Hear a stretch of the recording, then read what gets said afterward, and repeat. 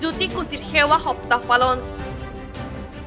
আজি আমাৰ মাননীয় প্ৰধানমন্ত্ৰী শ্ৰীযুত নৰেন্দ্ৰ মোদী ডাঙৰীয়াৰ জন্ম দিৱস উপলক্ষে আমাৰ সেৱা সপ্তাহ পালন কৰা হৈছে। গেৰুৱা হোৱা ভুৱনেশ্বৰ কলিতাৰ কংগ্ৰেছৰ ওপৰত ক্ষোভ। একালৰ বৃন্দাবন একালত পৰে চন কলিতাৰ কপালত ডাঙৰকৈ গেৰুৱা ফুট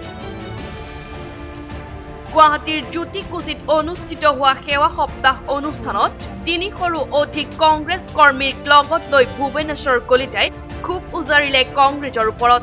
ভাৰতীয় জনতা পাৰ্টীত নতুনকৈ যোগদান কৰা ভুৱনেশ্বৰ কলিতাই এতিয়া সময় সুযোগ পালে কংগ্ৰেছৰ ওপৰত ক্ষোভ উজাৰে।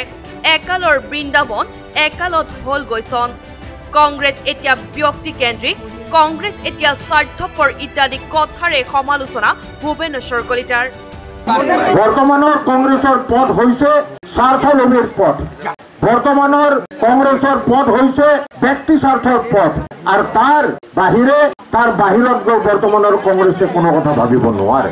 আজি ভাৰতবৰ্ষক আগুৱাই লৈ গৈছে শ্ৰীযুত নৰেন্দ্ৰ মোদী ডাঙৰীয়াৰ সবল নেতৃত্ব, শ্ৰীযুত অমিত শ্বাহ ডাঙৰীয়াৰ শক্তিশালী নেতৃত্বই।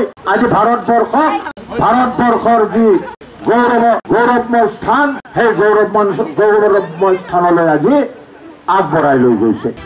শেহতীয়াকৈ কংগ্ৰেছৰ পৰা গেৰুৱা হোৱা নেতাসকলৰ মুখত এনেধৰণৰ মন্তব্য তেনেই স্বাভাৱিক। কেমেৰা জিতমণিৰ সৈতে ৰীমা দাসৰ ৰিপৰ্ট পি আই নিউজ।